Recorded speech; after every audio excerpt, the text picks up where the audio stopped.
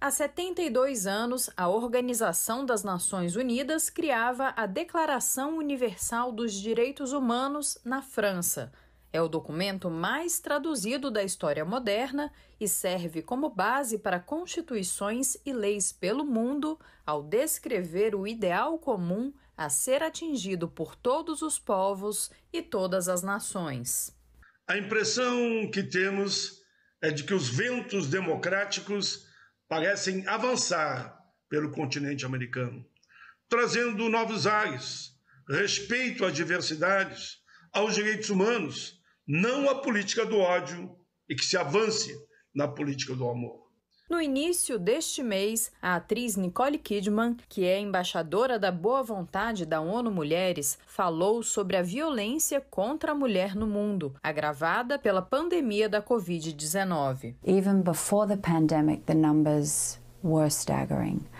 One in three women would face gender based violence in her lifetime. I am trying to create awareness and build more awareness. So, to play your role in ending violence against women, we need you to learn about the issue, make your friends and your community aware of services and resources, ensure that you know who to call if someone was in danger, volunteer your time if you can, or if you have the means, donate.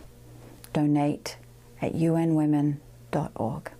Violência de gênero, homofobia, racismo, são exemplos de desrespeitos a direitos humanos que crescem no Brasil.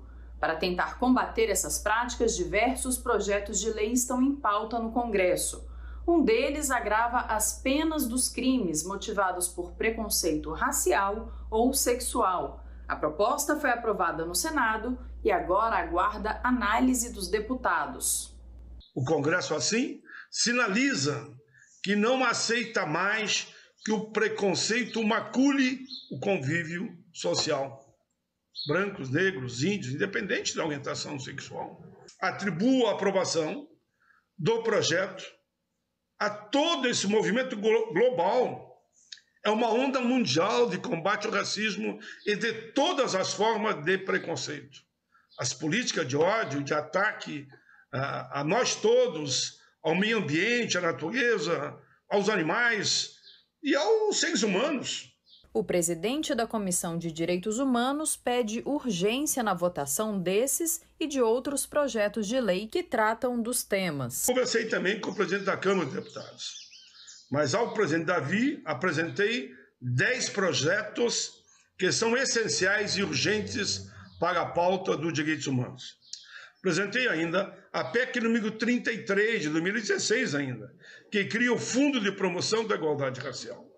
O item 10, que também considero muito importante, e por isso eu falo aqui de 10 pontos, a implementação das leis número 10.639 de 2003 e 11.645 de 2008, que tratam do ensino e valorização da história dos negros e dos indígenas no Brasil.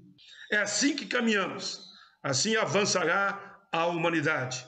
Vida longa, vida longa às políticas humanitárias.